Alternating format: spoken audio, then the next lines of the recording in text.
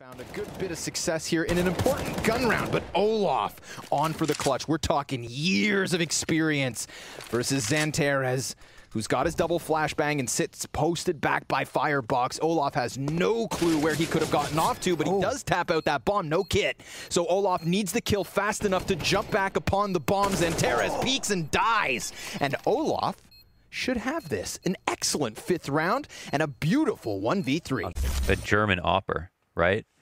I mean, he is a prodigy. I, I- I think it, it's kind of insane how good he got, how quickly, and what we saw from this spree when when Big became Because Big looked like they're playing out of a basement, but you and I are literally casting out of a basement. So we're all basement dwellers in the end. Like, recognize, like, I guess. I don't know.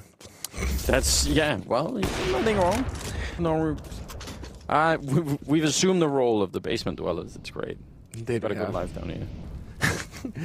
Yeah, can't complain. Isolated, but it is still. Help, help, help, help. It's okay. Pushing, pushing, pushing. Keep going. Door close. Oh my Oh my god. Come on, guys. Come on. Was a little bit of a struggle there. Oh. Back glass cannon. I didn't hit him once. I love these mic'd up. This is just brilliant, right? Mirage. But we're also going to find out why FaZe picked it.